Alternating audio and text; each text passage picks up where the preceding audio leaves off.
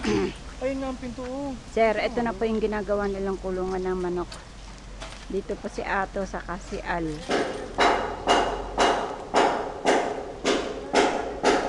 Patayo.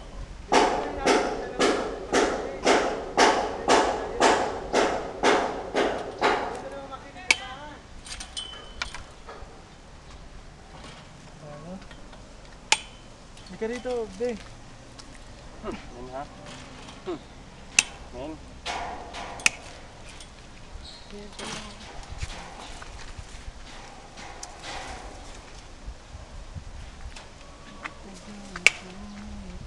ด็กคนนี้นู่นยืนจะลงมาด็กว่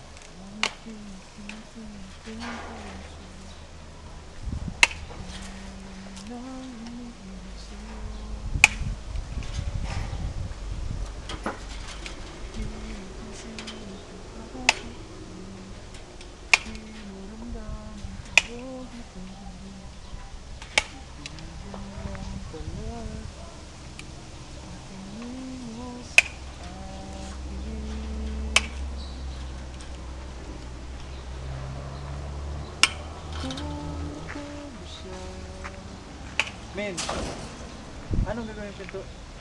Yung dalawa makilit nga daw hiniwalay, titindog gano. Patayo. Kasi Tapos pag ang, yan, bu- no, ang bukas mo na lang yung isa. Pag ganyan na. kasi yan kasi halabahan mo. Kung gusto mo, ito na lang yung gawin mong bisa dalawa. Mali. Nasa sa ba naman mo.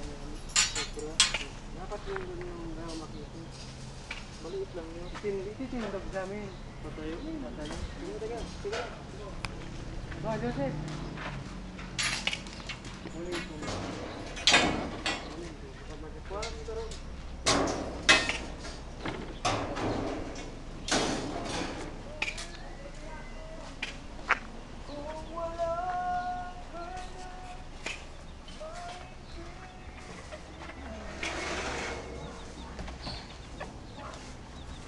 Ito po yung ginawang mix po na nilagyan ng PVC.